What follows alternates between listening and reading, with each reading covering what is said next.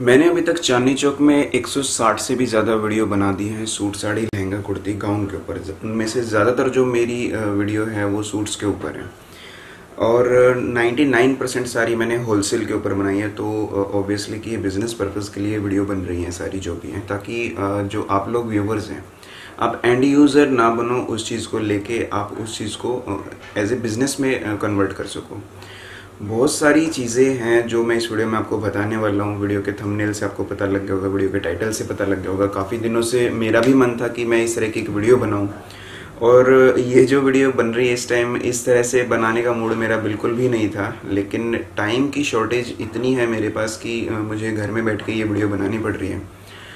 बाकी सबसे पहले मैं आपके क्वेश्चंस लेता हूँ जो आप ज़्यादातर हर वीडियो में मेरे व्हाट्सएप पे यूट्यूब के कमेंट पे, काफ़ी जगह पे आप मुझसे पूछते हो। पर्सनली भी मिलते हो आप मेरे को मार्केट में तो काफ़ी लोगों ने मुझसे पूछा है कि सबसे बेस्ट दुकान कौन सी है अगर आप स्टार्टअप करते हैं तो। देखो आपको स्टार्टअप करना है तो। इसका मतलब है कि आपका एक्सपीरियंस बिल्कुल भी नहीं है।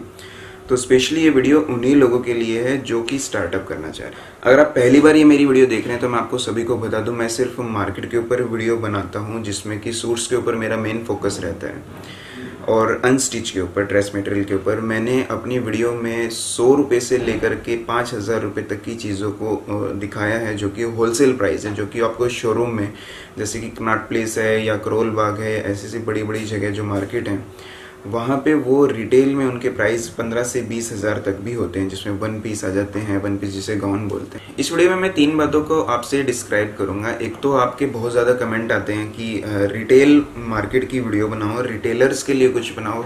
आप टोटली होलसेल के लिए बनाते हो रिटेल के लिए कुछ नहीं बनाते तो मैं रिटेल के लिए आपको बता दूँ। मेरी एक वीडियो आएगी तेरह अगस्त को अभी जो अपकमिंग है, तेरह अगस्त को एक वीडियो आएगी, उस दिन मंडे है। तेरह अगस्त वाली वीडियो आप ज़रूर देखना। टोटली वो 100 परसेंट रिटेल की होने वाली है और वो कोई ऐसी वैसी वीडियो नहीं होगी। आप जब उसको देखोगे तो आपको आइडिया लग जाएगा कि मैं किस लेवल पे पहुँचा हूँ इस यूट्यूब के थ्रू तो वीडियो को शुरू करने से पहले मैं पूरी चांदनी चौक को, पूरी चांदनी चौक में जितने भी शॉपकीपर हैं, जिन जिन से मैं जुड़ा हूँ, जिन जिन के पास मैंने जाके वीडियो बनाई है, उसके अलावा भी कुछ ऐसे दुकानदार हैं जिनके मैंने वीडियो नहीं बनाई है, लेकिन वो बहुत अच्छी तरह से जानते हैं। मुझे सूरत के मिल वाले जानते हैं, अहमदाबाद है जैतपुर है, जयपुर है जोधपुर है, काफ़ी जगह से मेरे जो मैन्युफैक्चरर मुझसे जुड़े हुए हैं, तमिलनाडु से भी हैं मेरठ से भी हैं, काफ़ी जगह से मैन्युफैक्चरर हैं जिनके पास, जो मेरे रेगुलर टच में हैं, वो मुझे काफ़ी थैंक्स भी करते हैं क्योंकि जब चांदनी चौक में होलसेल का बिज़नेस बढ़ा है तो पीछे से उनकी भी जो सेल बढ़ी है तो डायरेक्टली इनडायरेक्टली काफ़ी तरह से लोगों ने मेरे से इंटरेक्ट करा है। तो मैं उन सभी को सबसे पहले तो धन्यवाद करना चाहता हूँ कि उन्होंने मुझे अपनी दुकान के अंदर आने का मौका दिया। उससे बड़ा धन्यवाद मैं आप सभी लोगों को देना चाहता हूँ कि आपने मेरी वीडियो को पसंद करा है इतना, और काफ़ी अच्छे व्यूज़ भी आते हैं उस पर और उससे भी सबसे बड़ी बात है, एक ट्रस्ट है जो कि मेरे और आपके बीच में बना है। और मैं उसी ट्रस्ट की वजह से ही आज यहाँ पे पहुँचा हूँ। आपके सामने इस तरह की वीडियो बना रहा हूँ, शायद काफ़ी लोग हैं जो मुझे मार्केट में मिलते हैं, कुछ तो काफ़ी एक्साइटमेंट से मिलते हैं कि जैसे कि एज ए सेलिब्रिटी मुझे ट्रीट करते हैं। हालाँकि देखो, मैं सिर्फ़ अपना एक काम कर रहा हूँ और मेरा बेस्ट करने की पूरी कोशिश है कि मैं आपको अच्छी से अच्छी जगह दिखाऊँ, अगर मैं कुछ इस वीडियो के ज़रिए आपको दिखा रहा हूँ। तो आपका कुछ उसमें फ़ायदा हो सके। आप अगर बिज़नेस कर रहे हैं, बहुत से ऐसे लोग हैं जो बिज़नेस करना चाहते हैं, लेकिन उनको नॉलेज बिल्कुल भी नहीं है फैब्रिक की। तो फैब्रिक की नॉलेज मैं इस वीडियो में आपको ज़रूर दूँगा प्लस में रिटेल की मैंने बताई दी है तेरह अगस्त को एक वीडियो आने वाली है जो आप ज़रूर देखना और राहुल बागड़ी तेरह अगस्त वीडियो इस तरह से आप उसको सर्च भी करोगे तो वो वीडियो मिल जाएगी। आ, कौन सी दुकान की होगी कौन सी जगह पे होगी क्या चीज़ होगी सारी उसमें तेरह अगस्त में ही आपको पता लगेगा। इसके अलावा मुझे इंस्टाग्राम और फेसबुक पे अब फॉलो करने लग जाना, क्योंकि अभी तक मैं ज़्यादा इस पर फोकस नहीं करता था। इंस्टाग्राम और फेसबुक पे भी मैं फोकस करूँगा। तो देखो, मैं पर्टिकुलर किसी दुकान का नाम नहीं ले सकता क्योंकि इसके रीज़न काफ़ी सारे हैं। मैं किसी भी दुकान को अगर इस वीडियो में प्रमोट करता हूँ कि भाई आप उस दुकान, वो वो वाली बेस्ट है दुकान तो आप, ज़ाहिर सी बात है कि वो दुकानदार भी इस वीडियो को देखेगा। तो उसके हो सकता है भाव बढ़ जाए कि भाई मैंने जब डायरेक्टली उसका नाम ले दिया तो अब तो मैं कोई भी चीज़ किसी भी रेट में बेचूँ। तो मैं एक पर्टिकुलर दुकान को तो नाम नहीं लूँगा, मैं आपको हिंट देता हूँ। देखो फैब्रिक जब आप ख़रीदते हो कॉटन में काफ़ी सारी वैरायटी होती है। सबसे पहले क्रेप से शुरू होता है। क्रेप है इंडो है, फिर पीसी है। ये तीन चीज़ें हैं जिसको मैं जो नए जो कस्टमर हैं, जो नए अपनी दुकान स्टार्ट कर रहे हैं, मैं बिल्कुल भी नहीं कहता कि आप क्रेप इंडो और पीसी को खरीदें। पीसी में बॉटम भी आती है, जिसको सलवार बोलते हैं। पीसी में सूट भी आते हैं। शाइनर पीसी होती है काफ़ी लो ग्रेड की पीसी होती है। हाई क्वालिटी की पीसी भी होती है। कई बार इस तरह की पीसी मुझे मिलती है, जो कि मैं कैमरिक की उसको कैटेगरी में रखना चाहता हूँ, जो वीडियो में बनाता हूँ। अब जो रेगुलर फॉलोवर है, उनको पता होगा। लेकिन पीसी बिल्कुल अवॉइड करो, उसमें सिंथेटिक मिक्स होता है और उस चीज़ को ज़्यादा लोग पसंद नहीं करते हैं। जब आपका बिज़नेस चलने लग जाए, उस टाइम पे आपको क्रेब बेचना है तो क्रेप ही बेचो। देखो, बिकता सब कुछ है। क्रेब है इंडो है, ये चीज़ जो है पटरी बाज़ार में, जैसे कि बुध बाज़ार है, मंगल बाज़ार है, इस तरह की मार्केट में बहुत बिकते हैं। कैमरिक से जो है चीज़ें अच्छे से शुरू होती हैं, जो अच्छी क्वालिटी की चीज़ें हैं। कैमरिक में जो कि रेंज अगर मैं बताऊँ तो 300 साढ़े तीन सौ मैक्सिमम पौने चार सौ रुपये से अंदाज़ा से लगभग शुरू हो जाती है कैमरिक में। ऊपर में 600 700 800 रुपए तक की भी कैमरिक चल जाती हैं। वो उसके ऊपर डिपेंड करता है कि वर्क कैसा है, उसमें हैंड वर्क है प्रिंटेड है प्लाजो है, उसमें क्या चीज़ है, वो चीज़ें उसमें मायने रखती हैं। कैमरे के बाद आता है हंड्रेड परसेंट कॉटन है। मैं सिर्फ़ एक एग्जैक्ट वो चीज़ नहीं बता रहा, हो सकता है थोड़ा बहुत इसमें अलग भी हो। मैं जो मुझे एक्सपीरियंस हुआ है चांदनी चौक से, जो मुझे एक्सपीरियंस हुआ है मार्केट से, वो चीज़ मैं आपसे शेयर कर रहा हूँ। कैमरे को आप ज़रूर खरीद लो, आँख बंद करके खरीद लो, कोई दिक्कत नहीं आएगी कॉटन में। ग्लेस है रियोन है उसके बाद जो चंदेरी थोड़ा अलग फैब्रिक हो जाता है, थोड़ा शाइनर पार्टीवेयर लुक में आ जाता है। रियोन है रियोन में प्लाजो आएँगे सेमी स्टिच जो चीज़ें होती हैं और काफ़ी चीज़ें आती हैं, उसमें कुर्ती टाइप के प्लाजो के साथ होते हैं।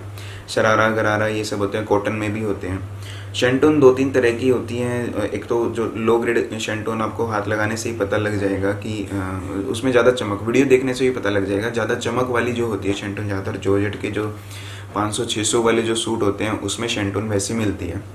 शेंटून ऊपर वाली क्वालिटी में मिलती है जो हज़ार दो हज़ार के जो सूट होते हैं उसमें 11 किलो 12 किलो की जो शेंटून होती है उसकी क्वालिटी काफ़ी अच्छी होती है।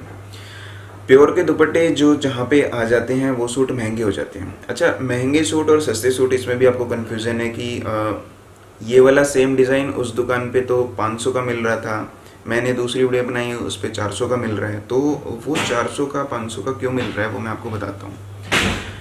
फैब्रिक की क्वालिटी अगर वो पाँच सौ वाला सूट कैमरिक में हो सकता है, चार सौ, साढ़े चार वाला वो पीसी में हो। दूसरा रीज़न हो सकता है, अगर वो दोनों ही सूट जो है कैमरिक में है तो हो सकता है उसकी बॉटम कैमरिक में ना हो कि वो पीसी में हो, जो सस्ते वाला है। तीसरा रीज़न हो सकता है कि उसके साथ जो महँगे वाला है 500 वाले में हो सकता है नाजनीन का दुपट्टा हो। उस सस्ते वाले में लेस नहीं लगी होगी बॉर्डर पे जो दामन पे लेस है, वो नहीं लगी होगी। तो काफ़ी सारे रीज़न्स हैं जिसकी वजह से उस सूट्स की रेट में फ़र्क आता है। उसके अलावा एक ही अलग अलग कंपनी जो सूट्स बनाती है। ए बी सी डी करके कंपनी है और ई एफ़ जी एच करके कंपनी है। दोनों ही कंपनी अलग अलग है अलग अलग जगह पे, एक सूरत है, एक अहमदाबाद है, कहीं पे भी है। वो एक ही डिज़ाइन को अपनी दोनों अलग अलग मैन्युफैक्चरिंग के हिसाब से उनको कॉस्टिंग लाने में बनाती है। कोई उसमें फैब्रिक अलग तरह का यूज़ करता है, कोई उसमें स्टिच कम कर देता है। स्टिच के जो थ्रेड के वर्क होते हैं वर्क कम कर देता है। तो ये सारी चीज़ें हैं जिसकी वजह से सूट के जो महँगा और सस्ता सेम डिज़ाइन में आप देखते हो, किसी में सिरोस की वर्क काफ़ी ज़्यादा होता है, किसी में बैक प्रिंट हो जाता है, किसी में बैक वीविंग वाला हो जाता है तो काफ़ी सारी चीज़ें हैं। बाकी कॉटन में मैंने आपको बताई थी जो जो वैरायटी होती हैं, इसके अलावा जो है मसलिन का काफ़ी ज़्यादा आजकल चल रहा है मसलिन के जो गर्लिश आइटम है, वो चीज़ें काफ़ी चल रही हैं दुपट्टे में, जिसमें प्योर के दुपट्टे काफ़ी ज़्यादा हैं। वो प्योर के दुपट्टे डालने से ही चीज़ें महँगी हो जाती हैं। अगर कोई सिंपल सा सूट है जिसमें कैमरे की बात करो जो कि पाँच सौ रुपये का कोई सूट है, उसमें नाजनीन का दुपट्टा है। अगर उसी सेम सूट में अगर हम प्योर का दुपट्टा डाल दें तो हो सकता है वो सात सौ रुपये का हो। दो सौ, डेढ़ सौ, दो सौ रुपये तक का प्योर का दुपट्टा है जो एक्चुअल प्योर होता है। इससे ऊपर अगर आपको क्वालिटी चाहिए तो छः सौ, सात सौ रुपये में जो उपाड़ा शुरू हो जाता है। ओपाड़ा की जो रेंज होती है, दो हज़ार, तीन हज़ार रुपये तक, साढ़े तीन हज़ार रुपये तक भी होलसेल में मिलते हैं। छः सौ, सात सौ रुपये से शुरू होते हैं तो आप आइडिया लगा सकते हो कि फैब्रिक में कितना ग्रे मिला हुआ है। ग्रे एक चीज़ होती है कि जो कच्चा कपड़ा होता है, उसमें कितनी परसेंट कॉटन है, कितने परसेंट इसमें जो है पीसी है सिंथेटिक मिक्स है, काफ़ी सारी चीज़ें उसमें बनती है, उस चीज़ को ग्रे बोला जाता है। तो फैब्रिक कौन सी मिल से आ रहा है, कौन सी किस क्वालिटी में है, उससे भी काफ़ी ज़्यादा फ़र्क पड़ता है। बाकी अभी जैसे अब राखी आने वाली है, उसके बाद जो है त्यौहार आने शुरू हो जाएँगे। दिवाली आएगी, जो कि हिंदुओं का सबसे बड़ा त्यौहार है, उस पर काफ़ी ज़्यादा और सर्दियों में भी, शादियों का सीज़न भी उस टाइम हो जाता है।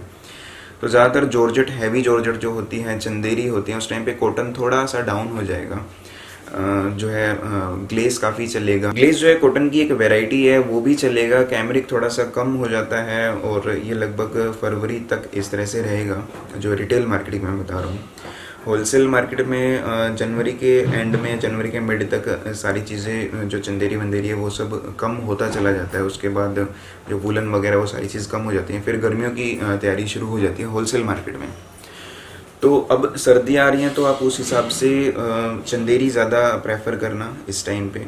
कॉटन भी प्रेफर करना कैमरिक भी प्रेफर करना पीसी इंडो और क्रेप को बिल्कुल अवॉइड करो। चाहे आप एक्सपीरियंस्ड बंदे हो दो तीन साल से दुकान चला रहे हो तो भी आप इन चीज़ों को थोड़ा अवॉइड करो। सबसे मेन चीज़ है, आप जहाँ पे दुकान करोगे अच्छा दुकान करने के भी दो तरीके होते हैं लोगों के। कुछ कहते हैं मैं घर से स्टार्ट करूँगा और कुछ प्रॉपर दुकान करते हैं. वो पूछते हैं कि आ, कितनी इन्वेस्टमेंट करनी चाहिए आ, एक दुकान को शुरू करने में?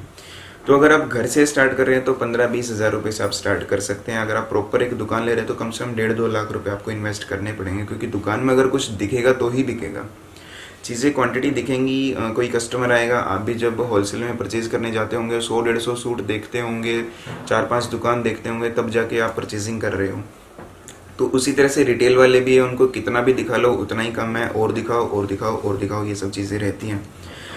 तो एक डेढ़ लाख में काफ़ी सारा स्टॉक आ जाएगा आपका स्टार्टअप में। और मैं एक बात और कहना चाह रहा हूँ आपको कि अगर आप दो लाख रुपए इन्वेस्ट कर रहे हो तो उसको पाँच सेगमेंट में डिवाइड कर लो। पहले दिन जाओ जो कि एक लाख से शुरू करते हैं, बीस हज़ार में आपने परचेजिंग करी किसी भी एक दुकान से। उसके बाद किसी दूसरी दुकान से बीस हज़ार की करो। इस तरह से पाँच अलग अलग दुकान से एक लाख की परचेजिंग कर लो। और बीस बीस हज़ार को किस तरह से करना? पहले बीस हज़ार का माल लेके आए। उसको थोड़ा सा बेचने की कोशिश करी पब्लिक का पॉइंट ऑफ़ व्यू देखा कि वो कौन सी चीज़ पकड़ रहे हैं। आप मिक्स में लाओ, जैसे कि चंदेरी भी ले आए कैमरिक भी ले आए ग्लेस भी ले आए प्लाजो में ले आए मसलिन में ले आए। ओपाड़ा में अगर हैवी रेंज में चाहते हो, ओपाड़ा में ले आओ विस्कोस में ले आओ जॉर्जेट में ले आओ। तो काफ़ी सारी इसके अलावा भी चीज़ें हैं। नेट वर्क ले आओ हैवी दुपट्टा वर्क ले आओ उसके अलावा दामन कंसेप्ट ले आओ गले कन, जो है वो ले आओ गले कंसेप्ट में जो चीज़ें आती हैं।